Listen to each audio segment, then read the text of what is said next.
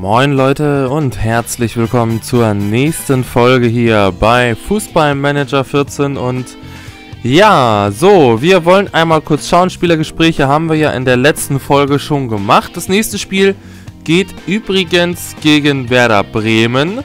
Äh, wie wir in der Tabelle sehen, sind wir hier noch zusammen mit Dortmund, Schalke und Bayern ungeschlagen. Das heißt, wir sind hier wieder in der Spitzengruppe, im Spitzenquartett dabei.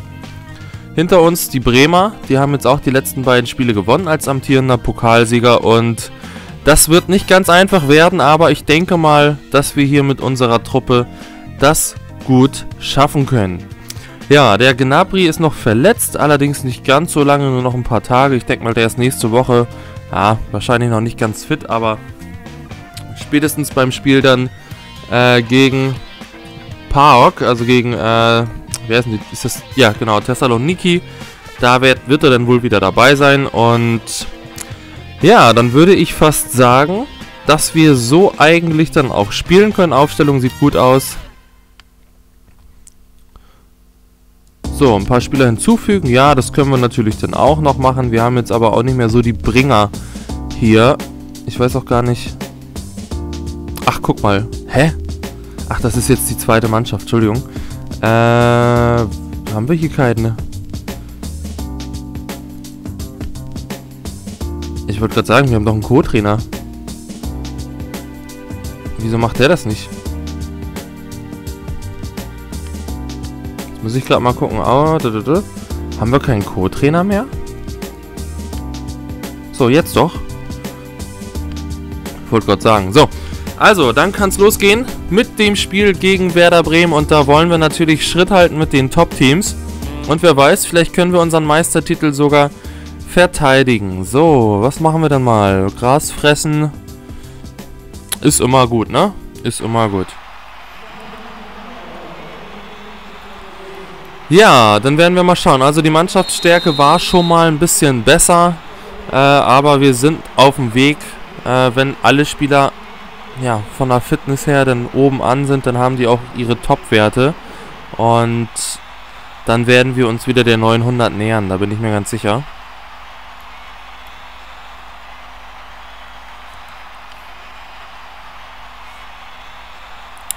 So, erste Möglichkeit, Holzhauser. Passt vors Tor, Polter kommt zu spät und Lukimia schafft es, den Ball hier leider zu klären. Ja, Polter ist ja auch unsere Torgarantie, wie schon in der letzten Saison. Da hätte er ja fast den Rekord von Gerd Müller mitgenommen hier, der ja bei 40 Toren liegt. Aber am, am Ende ist ihm leider dann die Puste ausgegangen. Also, äh, naja, Puste ausgegangen kann man nicht sagen. Der hätte dann schon ordentlich was machen müssen. So, hoffen wir mal, dass es nicht für uns ist. Ach du je, und Bernard verletzt sich hier. Das ist ärgerlich, weil Gnabry ist ja auch verletzt. Oh, bitte lass es nichts Schlimmes sein.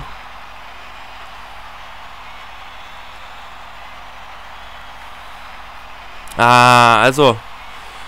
Ah, sowas ist immer ärgerlich. Verletzungen ohne Fremdeinwirkung, das sind immer die miesesten. Eine Zerrung, das geht ja noch. Das geht ja noch. Das hätte auch schlimmer sein können. Ja, fürs Spiel ist es jetzt natürlich ärgerlich, aber wir haben ja auch noch den Schuppomoting auf der Seite. Also ganz so dramatisch ist es jetzt nicht. Ich weiß gerade gar nicht. Der Pagano spielt. Ähm, ja, hier könnten wir theoretisch auch den Hofmann noch mit in den Sturm nehmen. Ich warte aber erstmal ab, äh, weil der Pagano, der soll, ist ja neun Sterne-Talent, der soll ein bisschen Spielpraxis bekommen. Den fördern wir hier ein bisschen und mit einer Spitze sind wir eigentlich bisher immer sehr gut klargekommen. Sollten wir aber ein bisschen offensiver gehen müssen, dann werden wir da natürlich dann auswechseln. So, ansonsten ist im Spiel jetzt noch nicht so viel passiert. 2 zu 3 Chancen. So, Freistoß. Petersen.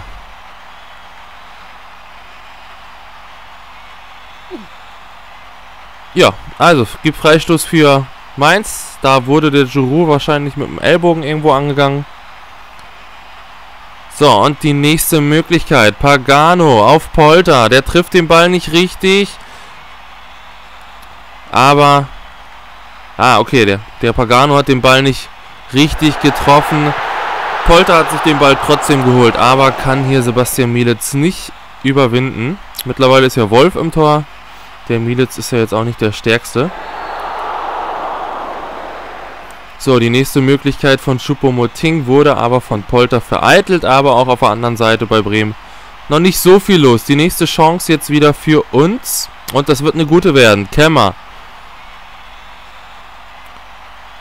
geht in Strafraum, passt an, die, an den 5-Meter-Raum. Pagano lässt den Ball durch. Wimmer wartet. Oh, mach ihn. Jawohl, und Kevin Wimmer, unser Innenverteidiger, macht hier das erste Saisontor. Lukas Kemmer hier, der von Bayern, den wir hier teuer gekauft haben. Der Youngster, der mit seiner dritten Vorlage jetzt schon glänzt. Sehr schön, aber auch sehr schön von Michele Pagano, dass er den Ball durchgelassen hat. Also die Führung und ist eigentlich auch verdient. Also 2 zu 7 Chancen, da muss man nicht lange drüber reden. Das geht soweit in Ordnung. Wir haben deutlich mehr vom Spiel, vor allem in der letzten Phase. So, nächste Möglichkeit. Schupomoting. Und das ist das 2-0. Schönes, schöne Aktion von Schupomoting. Einfach mal aus 16, 17 Metern abgeschlossen. Und Mielitz kommt da nicht mehr ran. Wunderbar. Also, das sieht nach einem guten Start aus hier.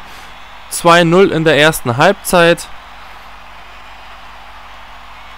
Einer Minute wird angezeigt, das erscheint viel. Naja, eine Minute Nachspielzeit kann jetzt nicht so viel sein. So, und ja, die Mannschaftsleistung ist soweit in Ordnung. Äh, gut, dass wir hier auch einen Ersatzmann von Schup also Schuppomoting haben. Gnabry ist ja auch noch ein guter Ersatz, der ja normalerweise dann im offensiven Mittelfeld oder rechts oder auch links äh, Platz finden kann. Und wir haben ja auch noch Maxi Beister, also da sind wir eigentlich ganz gut gewappnet. So. Dann können wir nochmal zusehen, dass wir hier einmal bei der Frische ein paar Massagen raushauen. Und ja, da müssen wir nochmal bei der Moral ran. Die ist gerade nicht so optimal. So, Pagano. Ja, da müssen wir motivieren. Timo Horn. Kämmer.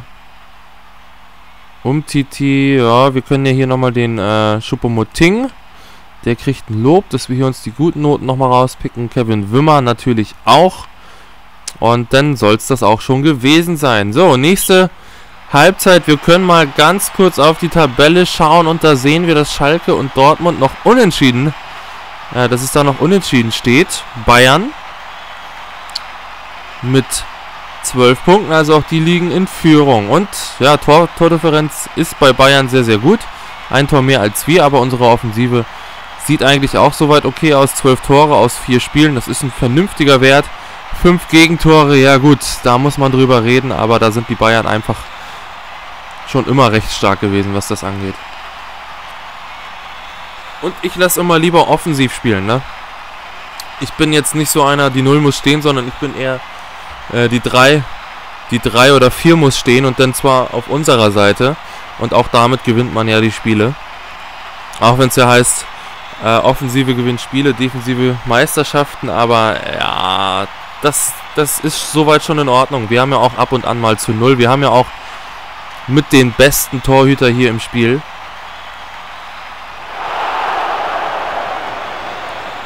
So, ein Freistoß einmal. Lukas Kemmer.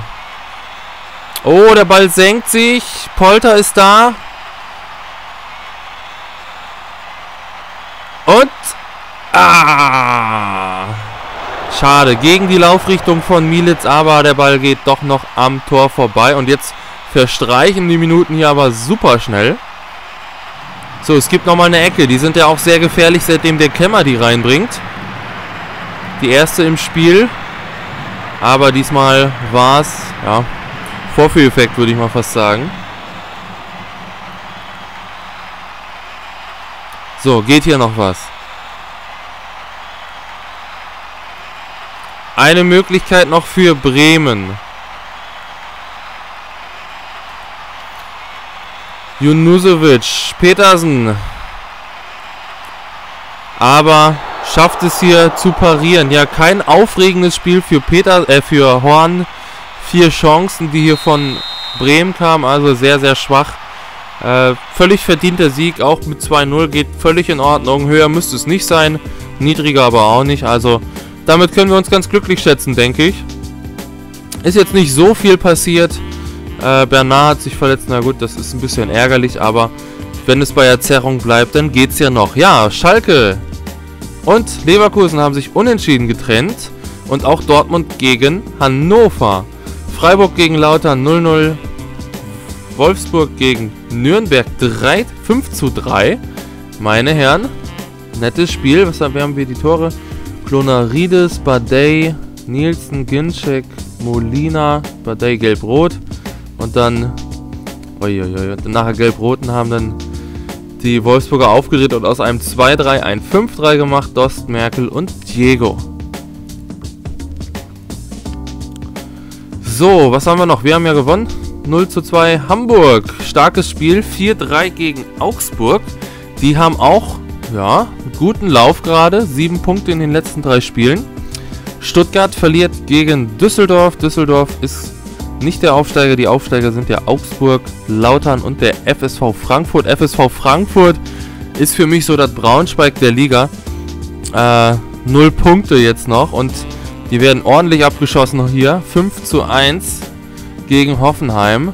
Derdiok, Firmino, Saliovic, Saliovic, Derdiok, also zweimal Derdiok, zweimal Saliovic und Firmino. Und Bayern mit einem dürftigen 1-0-Sieg scheinbar. Mario Götze trifft zwar früh, aber so wie es aussieht. Oh. Also, ist ja noch schlimmer als bei uns gewesen von den Chancen her.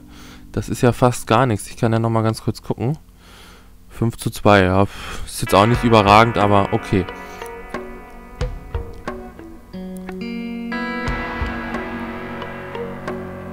So, ich wollte eigentlich eben nochmal ganz kurz schauen hier auf unsere Torschützen. Ja. Polter mit einer leichten Ladehemmung, wenn man das so sagen darf. Drei Tore bisher in vier Spielen.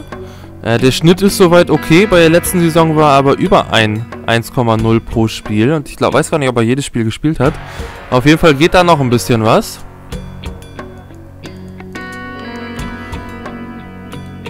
So, Oberschenkelverletzung 10 Tage. Doch, das ist ja relativ lang. Ja, unsere zweite Mannschaft gewinnt 1 zu 3. Sehr schön. Und dann können wir eben nochmal ganz kurz Lauftraining machen. Ich weiß gar nicht, der nächste Marathon ist jetzt, glaube ich, in 12 Tagen, ne? 15.09. Jawohl. Den sollten wir dann mal wieder schaffen. Das wäre nicht so schlecht.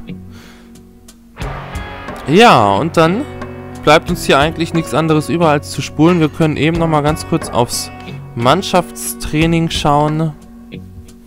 Wie sehen die Werte aus? Fitness. Ja, Fitness, das ist immer noch nicht so optimal. Ah, jetzt müssen wir erstmal warten, bis es, bis es Montag ist.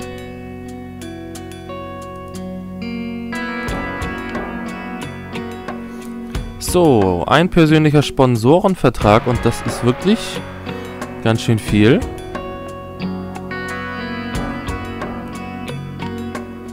Oh, 780.000 ist schon ein Batzen, ne?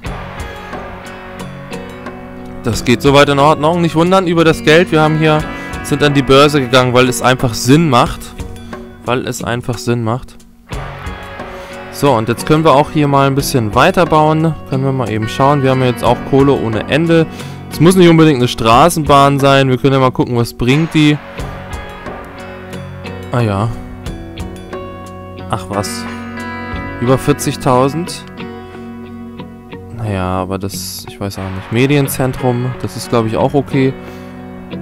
Ja, das ist alles noch, bis sich das rentiert. So, Trainingszentrum. 5,5%, also auch ganz wenig Auswirkungen hier nur. Kundenzentrum, was haben wir hier? Fanbeliebtheit, mehr Ticketsverkäufe.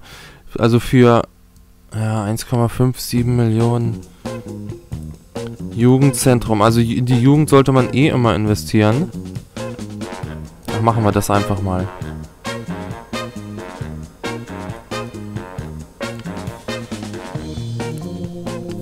Ja, das nächste Spiel gegen Borussia Dortmund. Das kann ja nochmal lustig werden. So, wir werden auch wieder, weil Schuppermutting einfach eine gute Leistung gezeigt hat, kommt er dann auch rein. Gnabry ist nicht fit, kommt aber auch nochmal wieder rein. Ja, an der Fitness müssen wir wirklich noch ein bisschen was tun. Ähm, das sieht immer noch nicht so ganz toll aus. Wir können mal eben ganz kurz gucken. Na, da wird uns jetzt wieder die nächste... Jetzt habe ich wieder verpasst, hier auf Pause zu drücken. Na gut, dann müssen wir das beim nächsten Mal machen. Wir können eben nochmal ganz kurz ins Taktikfenster gehen. Djurgic und Polter, das ist soweit in Ordnung. Von dem Djurgic habe ich jetzt im letzten Spiel mal gar nichts gesehen. Also rein gar nichts. Bisschen enttäuschend. So, und dann werden wir hier nochmal ein paar Spielergespräche führen. Die Moral muss ein bisschen nach oben. So, in welcher Form ist er? 13, da geht nicht mehr so viel. Um Titi. Gut trainiert, wunderbar. So, dann haben wir den Wimmer. Lieber den hier.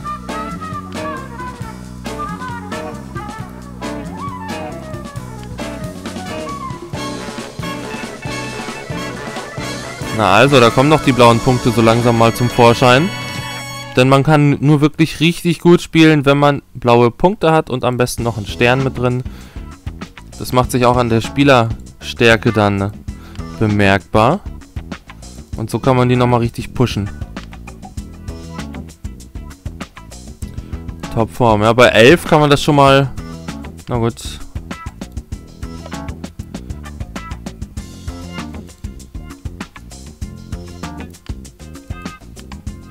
So, auch er hat sich, glaube ich, verbessert. 867 jetzt schon die Stärke.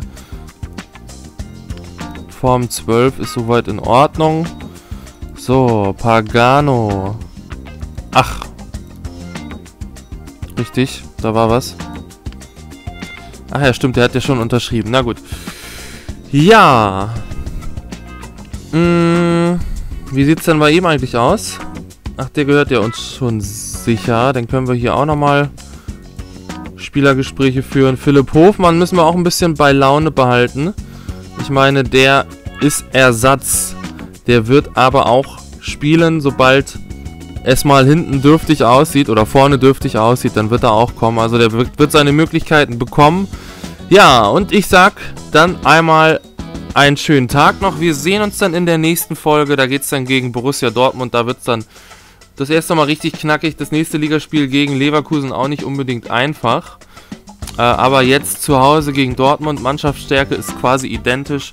Ich würde mich freuen, wenn ihr dann auch wieder dabei seid. Und da wollen wir natürlich dann so ein kleines Polster uns schon mal auf Platz 4, wo die Dortmunder stehen, ausbauen. Ähm, das wäre nicht so schlecht. Hätten wir 15. Dortmund würde bei 10 bleiben. Hier Hamburg, Düsseldorf auch maximal dann bei 10 und dann haben wir schon ein kleines Polster. Das wäre doch schön. Also, wir sehen uns in der nächsten Folge. Macht's gut, Leute. Bis dann.